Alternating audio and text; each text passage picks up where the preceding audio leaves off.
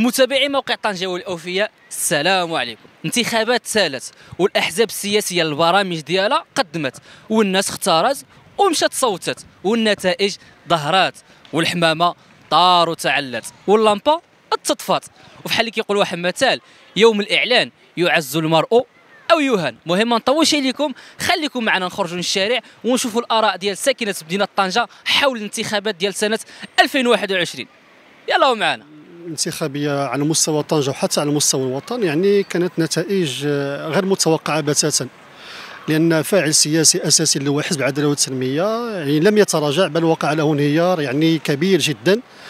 يعني من أكثر من 100 مقعد إلى إلى 12 مقعد فهذه المسألة لحد الآن غير مفهومة.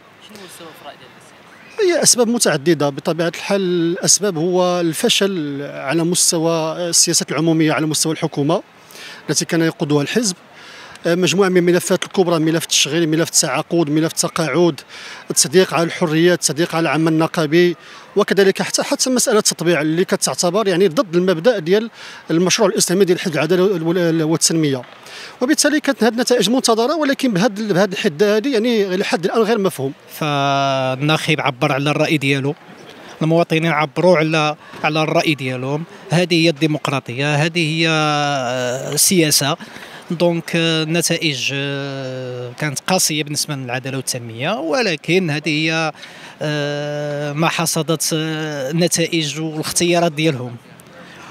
السبب الأسباب هي إذا نجيو نقيموا الأداء ديال العدالة والتنمية سواء سواء في على مستوى الأداء ديالهم على في المدن الكبرى أو على مستوى الحكومي راه كاين هناك واحد مجموعة القرارات اللا شعبية اللي تم الاتخاذ ديالها ضد الشعب.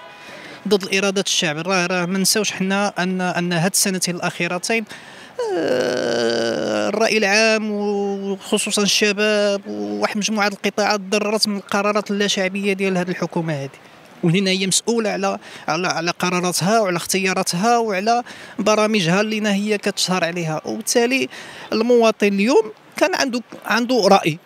كان عنده رأي وعبر عليه والصناديق عبرت عليها وبالتالي آه، بكل روح ديمقراطيه وبروح وطنية خصهم يتقبلوا هذه النتائج هذه ويمشيوا يمارسوا شوية النقد الذاتي ويعالجوا هذه الكارثة ديال اللي وصلوا لها آه، بالنسبة للعدالة والتنمية اولا هذا الحزب هذا ما نجحش في حياته في الأول من الأول ما عندوش واحد ما نجحش ما نجحش. هو أصلا ما نجحش في كي تيقول فاقد شيء لا يعطي.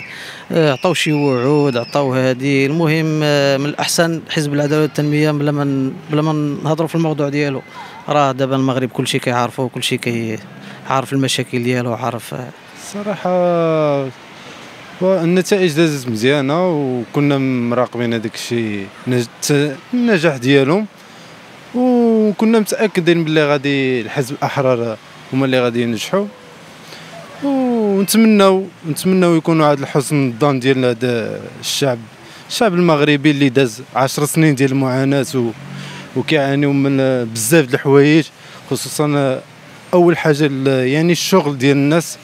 بزاف أنت كتشوف أغلبية الشباب كي بطالة ما عندهم شي ما خدامين شي كتجبروا واقف في الراس الدار كيكميو بزاف د الحوايج.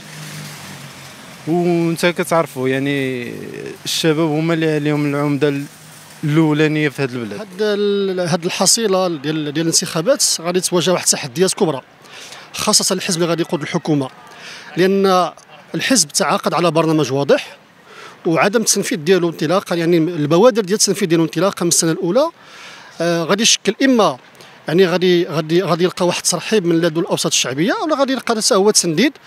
ويعني مجموعة يعني عودة ديال الاحتجاجات الاجتماعية. وهذا اللي ما كنتمناوه شيء لصالح يعني التطور ديال المغرب في إطار يعني المشروع ديال النموذج التنموي الجديد. الرسالة اللي كنوجه للحزب التجمع الوطني الاحرار هو أنه خصو يوفي بالوعود ديالو. دابا لا كاين شي مصداقية ولا كاين شي شي تطبيق آه، هو بالنسبة للسي عزيز راه ناجح في هذاك حزب أنا بدي كان آه، بدي بغيته يطلع. أنا مع الاستقلال ولكن حزب التجمع الوطني حتى هو علاش؟ هذاك حزب ناجح في حياته. أنا كيعجبني الحزب يكون ناجح في حياته. قدم برامج شبابية كما ولا هذه المبادرة اللي داير هو شنو؟ على حساب الرجال الكبار من 65 فوق 1000 درهم داير لهم. وديال 7500 ديال الاساتذه زاد لهم 1500 درهم. و300 درهم ديال من ثلاثة الأطفال. راهي مزيانة. يعني خلاو الناس تا ملي شافوا هذه المبادرة راه داكشي علاش الناس صوتوا هما الناس خصهم التغيير الاشتغال داخل طنجة خصو يكون اشتغال انطلاقا من برنامج عمل واضح الأهداف وخصها تنكب على الملفات الكبرى.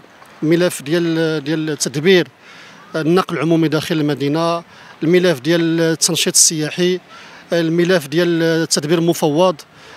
كذلك يعني اكبر المشكل لحد الآن هو ديال تصميم التهيئة اللي كخصو يعني توصل به طنجة. وكذلك يعني الوضع خطة يعني يعني بعيدة المدى على مستوى تطوير المدينة صناعيا وسياحيا.